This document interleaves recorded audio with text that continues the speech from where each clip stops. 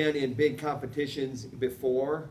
Um, he was in the national championship a year ago in Division Two, so he has those experiences to draw upon. Um, you don't really talk about the environment except for, you know, we'll walk him through the environment. But the bottom line is, is that he's been in big matches for all the marbles, and this is another one that's for most of the marbles and all the marbles in the Big Ten, and then we go for the one that's really for all the marbles. So uh, we like where he's at too.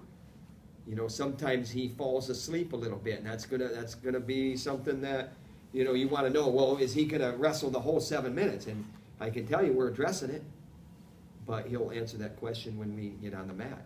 He'll have another opportunity to answer that question.